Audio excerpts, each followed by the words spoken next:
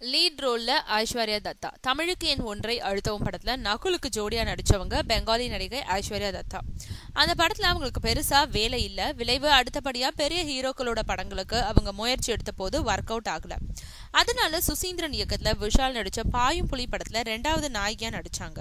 ஆனா அந்த படம் வெற்றி பெற்றா தன்னோட பெரிய ஹீரோ முயற்சி கை கூடும்னு எதிர்பார்த்த ஐஸ்வர்யா தத்தாவை அந்த படமும் ஏமாத்திடுச்சு.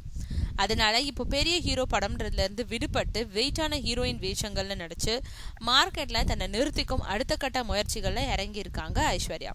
அந்த வகையில இப்போ அருள்நொதி நடிக்கும் மலையாள மெமரிஸ் படத்தோட தமிழ் ரீமேக்ல தானும் ஒரு நாயகியா நடிக்கும் அவங்க துருவா நடிக்கும் மறைந்திருந்து பார்க்கும் மர்மம் என்ன படத்துல லீட் ரோல்ல நடிக்கிறாங்க. இந்த படங்கள் தனக்கு கோலிவுட்ல ஒரு இடத்தை பிடிச்சு தரும்னு எதிர்பார்க்குறாங்க ஐஸ்வர்யா தத்தா.